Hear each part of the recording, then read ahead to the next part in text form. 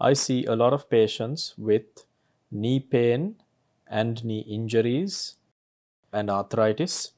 So, damage in the knee tissues are to menisci, and this tissue uh, damage can be repaired using minimally invasive arthroscopic techniques and get people back to 100% of what they are doing.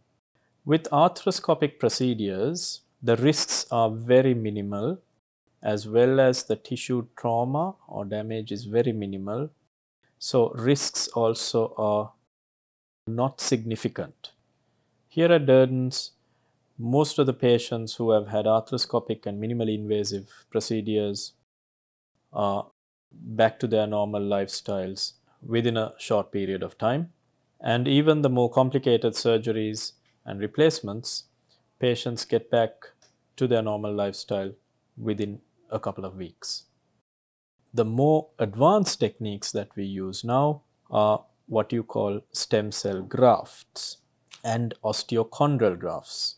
The stem cell grafts are done when there are areas in the knee that are significantly damaged and hence can be covered with a graft of stem cells and we expect the cartilage to regenerate into that area of damage.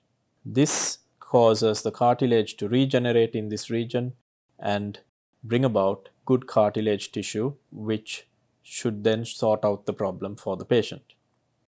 Stem cell grafting is a cutting edge procedure that is done even internationally only in a few specialized centers and we at Durdans have many years of experience in this procedure and have good results following it.